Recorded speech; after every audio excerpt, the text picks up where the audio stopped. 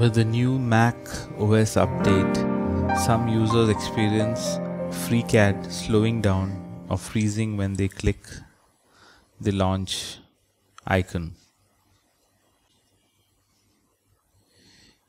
Even after launching FreeCAD,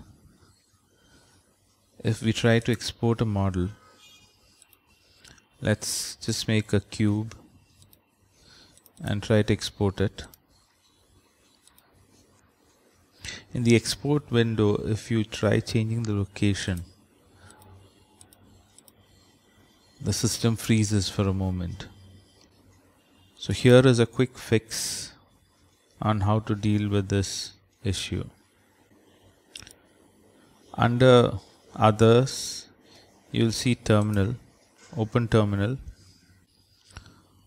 open finder, go to your applications folder single click on FreeCAD, right click and show package contents.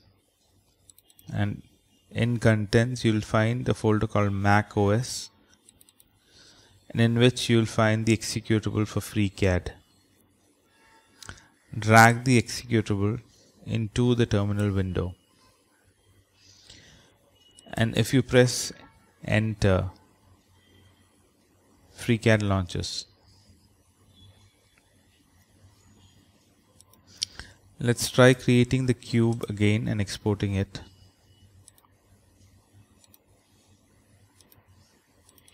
Select the cube and now when you press export you'll see that there is no delay and you can easily export.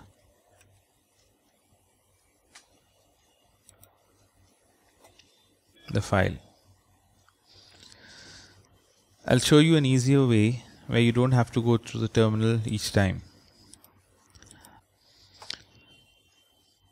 Mac OS has got a wonderful application called Automator. Select Automator. Once Automator is launched, you'll see the Automator toolbar. Click File and New choose application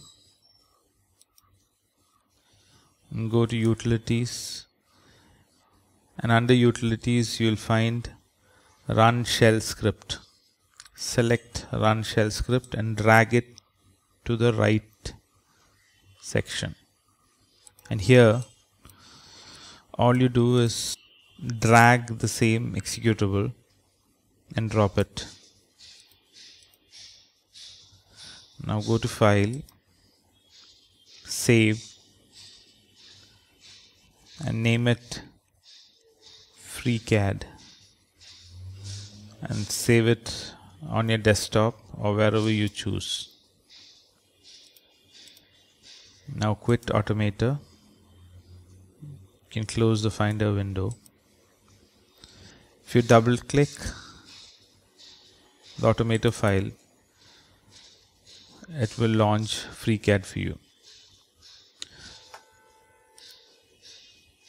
So right now it's the same as going to the terminal but it's a much easier method.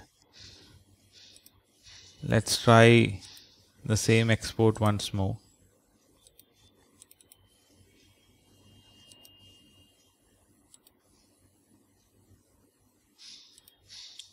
You can see that there's no delay. Thank you